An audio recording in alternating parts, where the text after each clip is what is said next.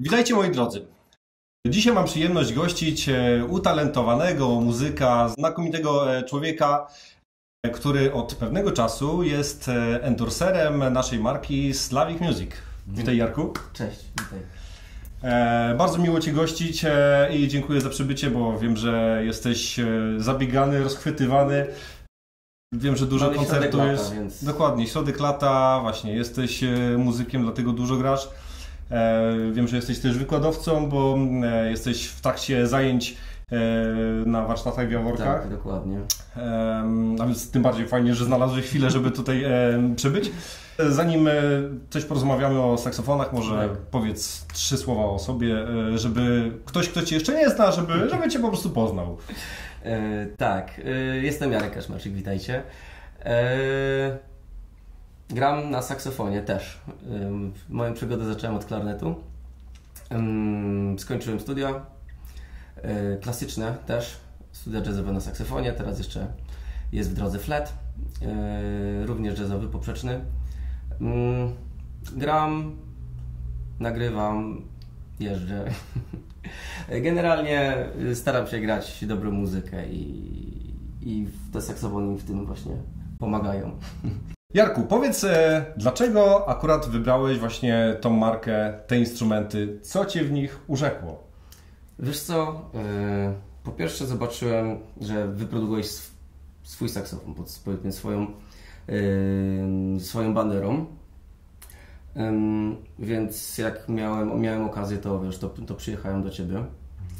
I Oczywiście jestem bardzo sceptycznie nastawiony do, do, różnych, do różnych prawda, y, wyborów i muszę przetestować, sprawdzić, przekonać się, sprawdzić w praktyce, ale, y, ale mając y, w życiu wiele instrumentów, mm, bardzo urzekło mnie brzmienie tego, tego, tego modelu, ponieważ jest pomiędzy vintage'owym instrumentem, do którego dążą muzycy powiedzmy jazzowi, a nowoczesnym, a nowoczesną mechaniką, nowo, nowoczesną intonacją, która jest po prostu pożądana teraz e, przy wszelakiej muzyce, którą się tworzy teraz w XXI wieku. I no, dla mnie to jest taki złoty środek do tego, co, mm, gdzie, do tego, gdzie można sięgnąć do korzeni prawda, i tego, tego jazzu i y, równocześnie y, móc, y, móc po prostu być bardzo skutecznym i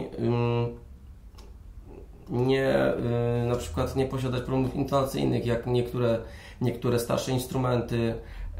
Tutaj projekt tego, tego saksofonu jest, na, jest tak dopracowany, że no, intonacja, ergonomia, ergonomia palców i w ogóle wygląd jest bardzo ciekawie zrobiony i myślę, że może konkurować, konkurować tutaj z, z, z topowymi firmami i uwierz mi, że testowałem różne saksofony, nie będę tu może wymieniał marek, ale wiem, wszyscy wiemy, wszyscy znamy, prawda, te marki na rynku.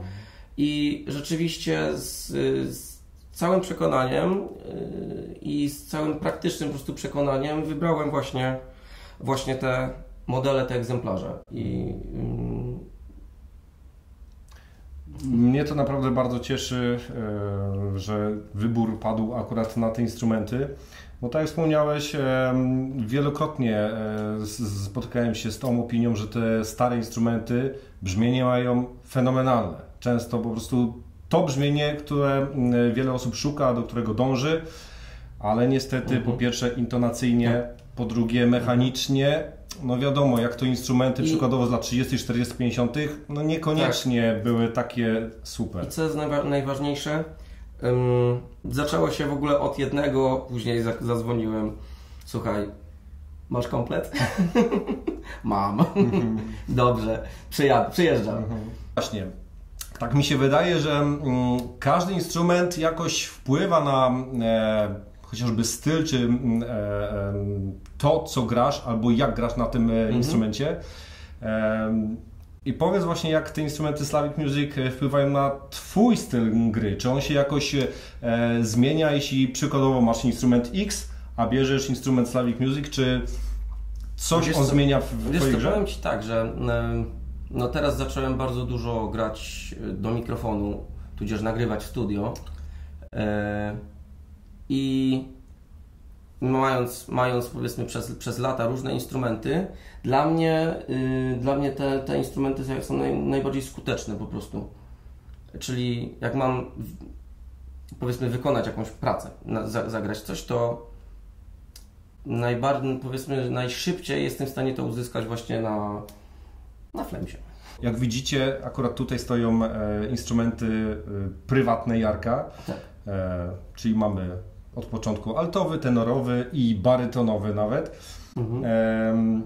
I Jarku, bo masz tutaj taki dosyć specyficzny e, setup, jeśli chodzi o te e, konkretne e, saksofony. Tak. E, powiedz coś na ten E. Jest to mm, model lakierowany z nielakierowaną fajką, mm, tylko ona była najciemniejsza. Miedziana. Miedziana, tak? No właśnie, miedziana, magna. Ym, Ustnik Vandoren V16, odchylenie 7. Ym, I dlaczego? Wybierałem z, z 5, 6, 7 sztuk.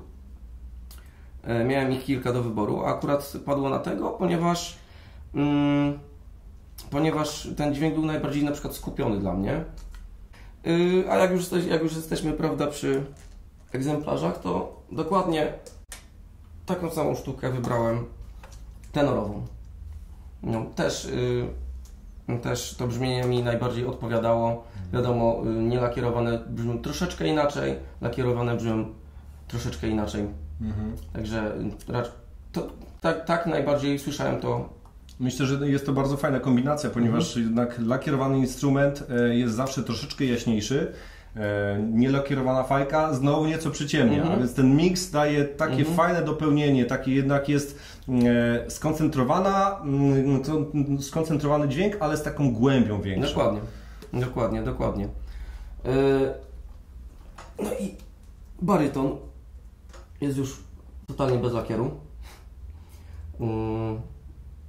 I jak go wziąłem do ręki, byłem bardzo zaskoczony. To jak może, może się wygodnie na barytonie grać. Jarku, myślę, że e, nie ma co za dużo gadać. E, fajnie by było, jakbyś teraz zaprezentował, e, pokrótce zagrał na tych instrumentach. Posłuchamy, Pewnie. jak brzmią w Twoich rękach. Alcik.